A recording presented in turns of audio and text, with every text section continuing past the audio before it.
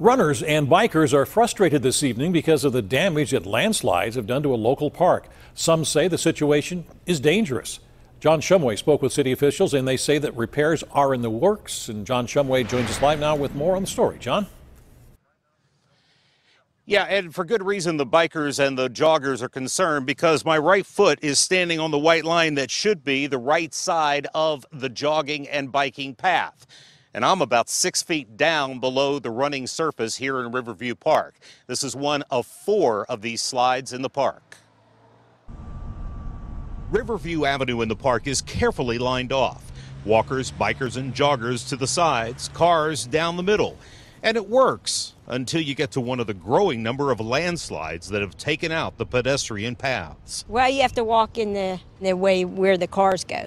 You know, you have to go around it. Folks who enjoy this park say slides are really nothing new. It's never been a real big issue for more than a day. But these slides are a bit more serious. In the last uh, several months, we've had three slides.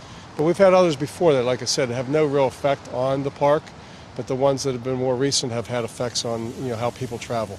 And it's not just a quick cleanup. We'd love to move the material off, but uh, you know, fooling around with it may help to promote more of a slide. So the city has called in the geotechnical experts. And we're going to wait for those reports to come back, and that'll help us decide how we need to proceed with correcting those landslides. Meanwhile, at the park's activities building, that's out of commission right now because we have a broken sewer line We've got a landslide, and there's other things to correct. PWSA will begin work on the sewer line next week, and the city will repair the rest when that work is done, in hopes of having the center back in operation by early May when numerous rentals are already on the books.